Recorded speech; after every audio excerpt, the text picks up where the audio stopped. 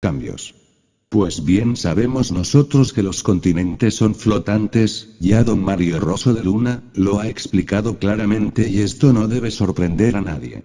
En eso sí están de acuerdo los fanáticos materialistas de la Pangea, no lo niegan. Mas les falta muchísimo todavía como para conocer las causas o motivos de tales flotaciones continentales. Yo creo que si ellos se leyeran a don Mario Rosso de Luna, cosa que la considero bastante imposible, completarían mejor sus informaciones.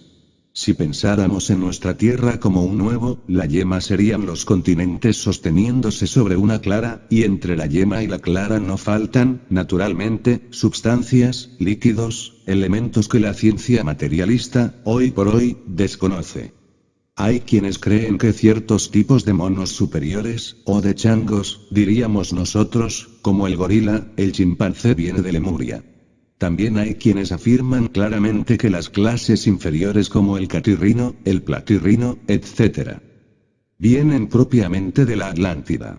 En esto no pondremos objeciones, pero sí tenemos que reflexionar, y profundamente. Por ahora se están haciendo ciertos comentarios muy simpáticos, la ciencia materialista inventa todos los días nuevas hipótesis. Han establecido una cadena muy curiosa, ridícula por excelencia, con relación a nuestros posibles antepasados. Como rey de esa cadena aparece el tiburón, del cual descienden, según dicen los antropólogos materialistas, los lagartos. Ridícula teoría, ¿verdad? Solo concebible por mentes de lagarto, realmente, y prosiguen después con el famoso opossum, criatura similar al cocodrilo pero un poquito más evolucionada, según enfatizan. Y de allí pasan, siguiendo el curso de la gran cadena de maravillas a cierto animalillo al que se le ha dado por estos tiempos muchísima importancia. Me refiero en forma enfática al lemúrido o lenur, según le llaman. Le atribuyen una placenta discoidal, cuestión que es rechazada por los mismísimos zoólogos. Contradicciones tremendas encontramos en estos recovecos de la ciencia, de la antropología materialista. Prosigue la cuestión, diciéndose que ese animalillo que pudo haber existido hace unos 150 millones de años, desciende a su vez el mono y por último el gorila. En esa cadena el gorila es nuestro inmediato antecesor, el antecesor del hombre. Algunos antropólogos, como decía en mi pasada conferencia, no dejan de meter en estas cuestiones al pobre ratón y hasta quieren incluirlo también dentro de esta cadena. ¿Cómo? ¿De qué manera? Ya no serían siete los componentes, serían ocho. Allá ellos y sus teorías. Afirman con un tono de sapiencia extraordinaria que el hombre era diminuto, microscópico, es decir, tan pequeñito que hoy en día nos asombraríamos al verlo se basan en que, que el ratón es pequeño, que como nosotros, también según ellos somos hijos de un ratón. No sé en qué parte lo incluyan, posiblemente antes del lemúrido o después del lemúrido. Fuimos creciendo hasta llegar a la estatura de altísima civilización y perfección extraordinaria que hoy tenemos.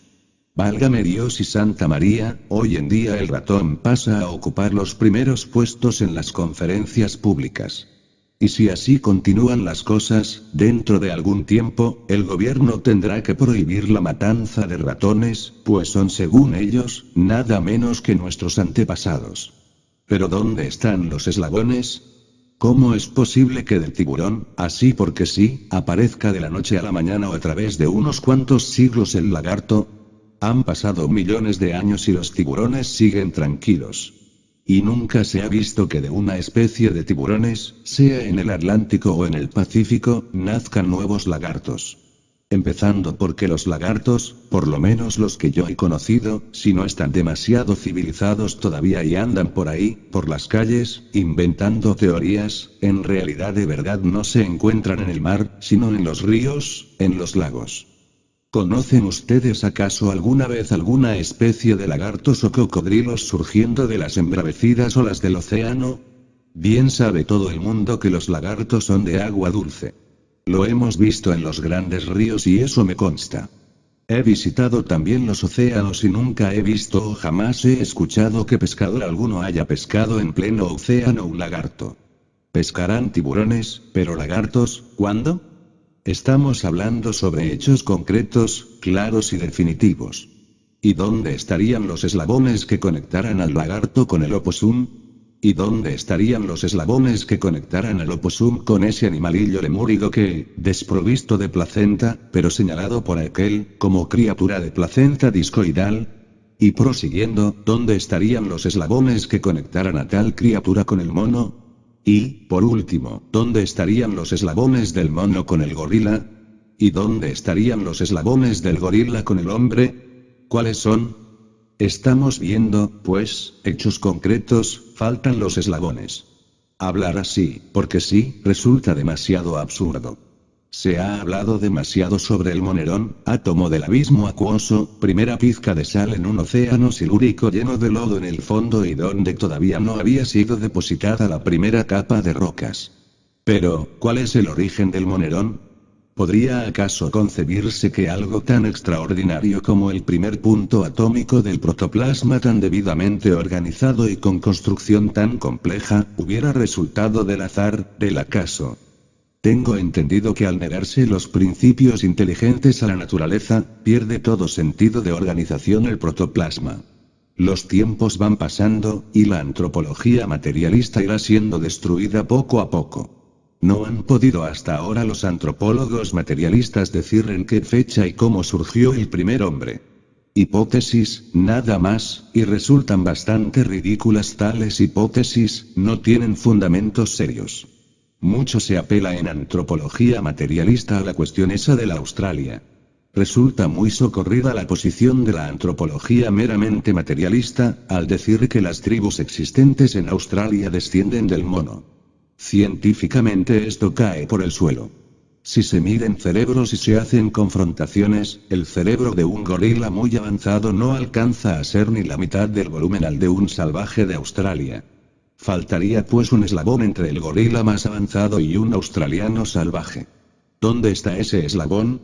Que nos lo presenten, que nos lo muestren, aquí estamos todos para verlo. Afirmar así por afirmar sin una base sería, resulta espantosamente ridículo. Decía en mi pasada plática que ellos, los señores del materialismo antropológico, afirman en forma demasiado grandilocuente, que no creen sino en lo que ven, pero los hechos están demostrándonos su falsedad. Están creyendo con firmeza en hipótesis absurdas que jamás han visto. Eso de decir, que nosotros en su origen venimos del tiburón, de establecer luego una cadena de caprichos, simplemente por parecidos fisonómicos, demuestra en el fondo una superficialidad llevada al extremo. Si eso escriben, en verdad que es abusar demasiado de la inteligencia de los lectores. Si eso hablan, resultan en el fondo terriblemente cómicos y hasta absurdos que en la Lemuria, continente que posiblemente hoy pongan en tela de juicio los fanáticos espantosos de la Pangea, se hayan mezclado seres humanos con bestias no lo ponemos en tela de duda. Resultaron de allí no solamente simios, sino múltiples formas bestiales que aún hoy en día tienen documentación tanto en el este como en el oeste del mundo. Citaremos como ejemplo ciertos extraños simios lemures que podrían servir naturalmente de mofa para los materialistas superficiales de esta época, pero en verdad que uno debe afirmar con valor lo que es real. Me refiero a alguna especie que existió, que tan pronto se movía sobre manos y pies, como cualquier simio, como se erguía sobre sus dos pies, rostros azules y también rojos producto de ciertos seres humanos cruzados con bestias subhumanas del Mioceno, especialmente de la época mesozoica. Que hablaban si lo dicen las viejas leyendas. Sobre todo lo anterior encontramos referencias en papiros, códices, ladrillos, en monumentos antiguos y en los manuscritos arcaicos. Así que fueron múltiples las formas simiescas que surgieron en el viejo continente Nu. Más cómo surgiría el hombre, de qué manera, hasta ahora este ha sido un verdadero rompecabezas para los materialistas de Darwin y de Haeckel y aún para los materialistas antropólogos contemporáneos. ¿Dónde podríamos nosotros hallar el origen del hombre? Incuestionablemente en el hombre mismo, ¿en qué otro lugar? Concretémonos ahora a Australia. ¿Qué es lo que dicen los antropólogos materialistas? Que las tribus australianas actuales tienen como ascendientes a los monos. Claro, no pueden probarlo, pero lo afirman, lo creen, no lo han visto pero lo creen, aunque dicen que no pueden creer jamás cosa que no han visto. Vean ustedes cuán paradójicos resultan estos señores. Los clanes australianos son los más primitivos que existen actualmente en el mundo. ¿Cuál sería el origen de tales tribus? Habría que saber cuál es el origen de Australia. Australia en verdad es un pedazo de la Lemuria, ubicado en el Pacífico, una tierra vieja, viejísima. Los antepasados de esas tribus, ¿dónde estarán? Hablemos de sus cuerpos físicos. Obviamente hallaremos tales restos óseos en el fondo mismo del Pacífico. Restos de bestias, porque en verdad son las tribus australianas mezcla de ciertos hombres con ciertas bestias, pasaron por muchas transformaciones y actualmente existen. Habría que observar a tales tribus para darse uno cuenta evidente de que se trata de mezclas de habitantes de antigua Lemuria con ciertas bestias de la naturaleza. Por ejemplo, hay lugares en Australia donde es tan abundante el pelo en el cuerpo de las personas que parece más bien piel de bestias. Eso da naturalmente una aparente base como para que los señores materialistas digan, he ahí, son hijos de los antropoides, nuestra teoría demostrada. Los antropólogos materialistas son terriblemente superficiales, no tienen en verdad madurez en el entendimiento, se trata de mentes en estado de decrepitud, degeneradas y eso es realmente lamentable. Si queremos nosotros en verdad buscar el origen del hombre, tenemos que conocer a fondo la ontogenia. No sería posible conocer la filogenia excluyendo a la ontogenia. Obsérvese los procesos de recapitulación del ser humano entre el vientre materno. La naturaleza hace siempre recapitulaciones. Obsérvese una semilla, un germen de árbol. Ahí hay un árbol en estado potencial completo, solo falta que se desarrolle y para que desarrolle en esta tierra se necesita agua, y aire y sol.